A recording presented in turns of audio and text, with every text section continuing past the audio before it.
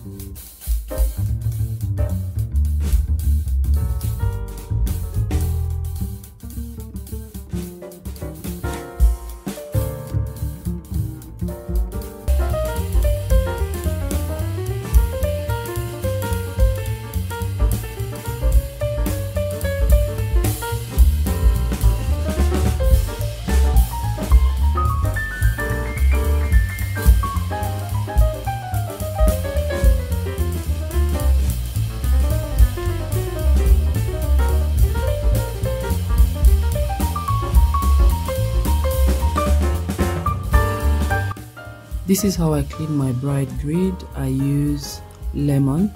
Lemon will help loosen the stuck residue on the grid and trust me, cleaning becomes easy thereafter.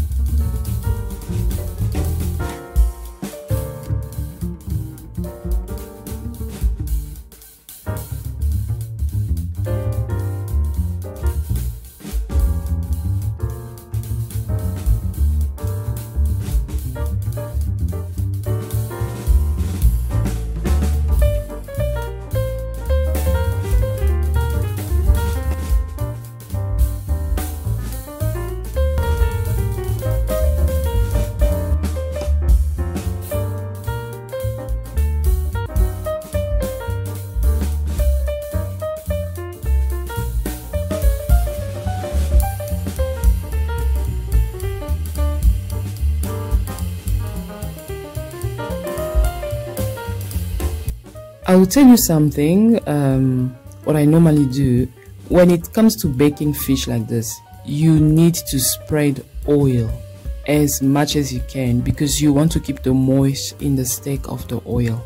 Because if you don't spread the oil, your baked fish will come out dry from the inside and trust me you don't want that so you need to spray the oil as much as you can to keep the moist in the fish steak regardless of the fish being done in the oven or on the braai like this you need to spread the oil as much as you can. Okay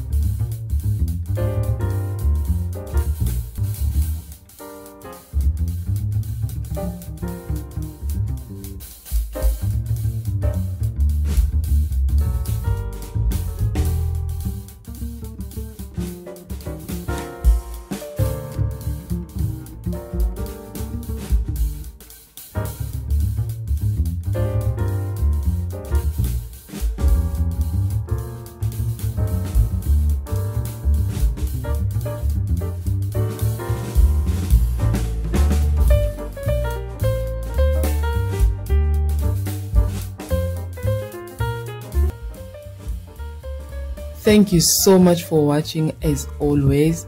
I'll never cease to thank you guys because you visiting my channel, watching my video, it really makes me happy.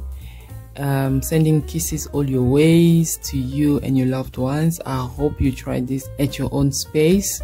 Until I see you next time, it's a goodbye for now.